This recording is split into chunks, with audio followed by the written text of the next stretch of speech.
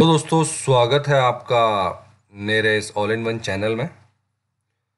दोस्तों, आज की वीडियो में हम बात करेंगे एक बार फिर से सभी एक्स सर्विस मैन और सेंट्रल गवर्नमेंट एम्प्लॉयज़ के लिए आज की जो नई अपडेट आई है उसके बारे में। आज के दिनों में जो भी सा अपडेट्स आ रही है वो कोविड नाइन्टीन की वजह से आ रही हैं। हर बारी जो है एक नया लॉकडाउन लगता है और ये कहा जाता है कि अगले, क्योंकि लॉकडाउन में बंदे बाहर नहीं जा सकते, इसलिए जो है चीज़ों को और एक्सटेंड किया जाता है और हर पिछले जो है दो तीन महीने से यही हो रहा है।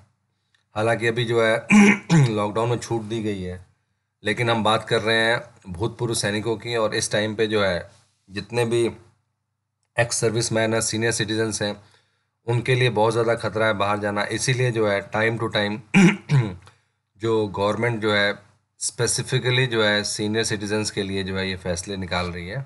बाकी लोगों के लिए तो ऑफ़िस भी शुरू हो चुके हैं।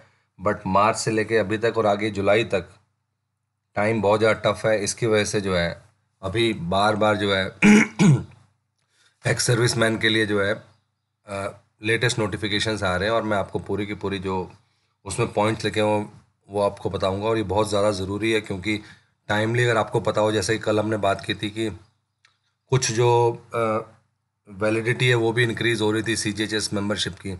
आज हम बात करेंगे कि अभी किन चीज़ों को जो इंक्रीज़ किया गया है और किस तरीके से आप उसको जो है, उसका बेनिफिट ले सकते हैं। तो चलिए दोस्तों, बात करते हैं आज के इस इंपॉर्टेंट अपडेट के बारे में। अगर अभी तक आपने इस चैनल को सब्सक्राइब नहीं किया तो सब्सक्राइब ज़रूर करें, जिससे आने वाली हर वीडियो का अपडेट आपको मिलता रहे और साथ ही साथ बेल आइकन ज़रूर दबाएँ। दोस्तों, जैसा कि मैंने आपको बताया कि यह स्पेशल सेंक्शन है। क्योंकि कोविड नाइन्टीन जो है अभी इतनी जल्दी जाने वाला नहीं है और अभी तक इसके बहुत सारे जो है रूल्स एंड रेगुलेशंस आ चुके हैं कि किनको अफेक्ट कर रहा है और सबसे ज़्यादा जो है एल्डरली पीपल को अफेक्ट कर रहा है। तो आप देख सकते हैं कि दोबारा से देखो आप one time sanction of purchase of medicine and claim reimbursement was issued till thirty first May इकतीस मई तक तो, तो कहानी क्लियर थी कि एक टाइम रिम्बर्समेंट आप जो भी आप दवाई लेते हैं उसका आप रिम्बर्समेंट कर सकते हैं। लेकिन अभी आप देख सकते हैं कि in view of increasing cases of COVID nineteen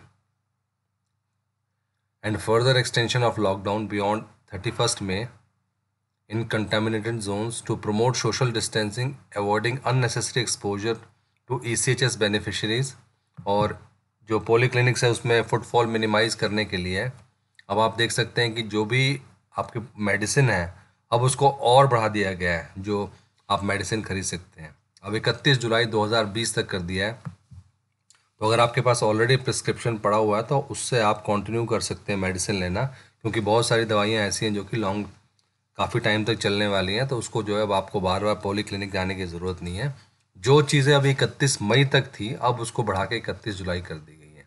तो इसीलिए कई लोग जो है डायरेक्ट जो है इकतीस मई जैसे हुआ, वो लोग जो है पॉलीक्लिनिक जाना शुरू हो गए थे तो उससे क्या हुआ था कि फुटफॉल बढ़ रहा था, और इस टाइम पे जो सीनियर सिटीजन्स हैं, उनको जो है, उनके लिए ज़्यादा ये घातक है, ये जो कोरोना, कोविड है।